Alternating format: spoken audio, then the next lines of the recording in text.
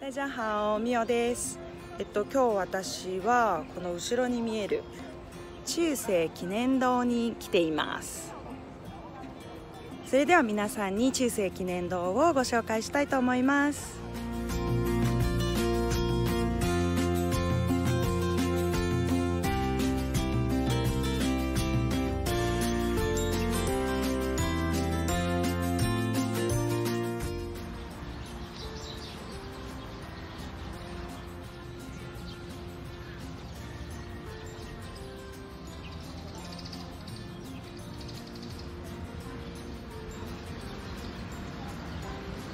分後ろの門がちゃんとした門です。私が入ってきた門はもう裏門みたいな門ですね。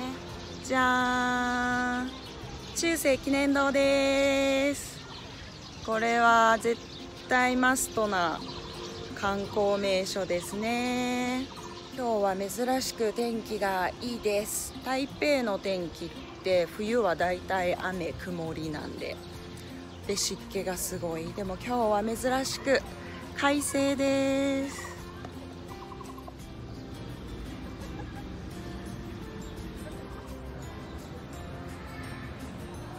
じゃあ今から蒋介石の展示場みたいなのがあるのでそこに行きたいと思います。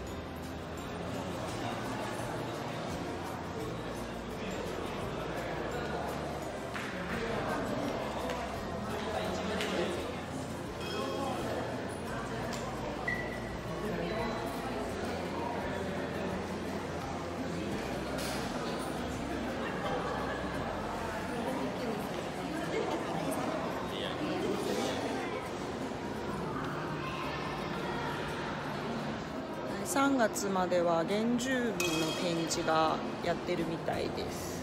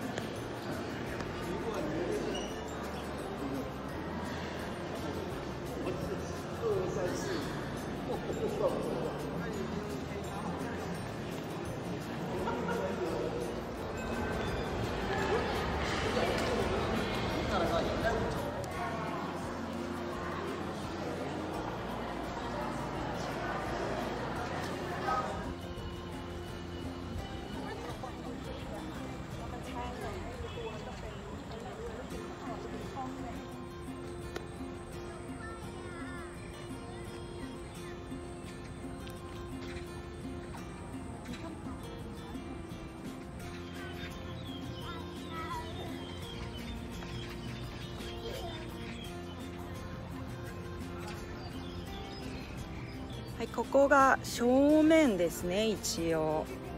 私は久しぶりに正面玄関に来た気がします。いつも裏から入ってそのまま帰っちゃうんで。やっぱり正面玄関が一番観光客の人たちが多いですね。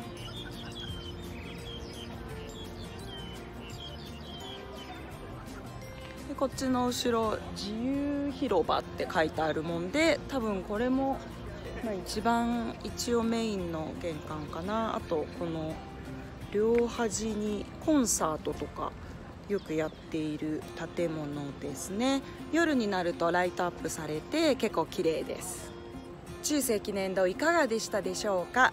晴れた日にはねこうやってすごく綺麗な建物が見れますし周りも緑があってすごく綺麗ですね。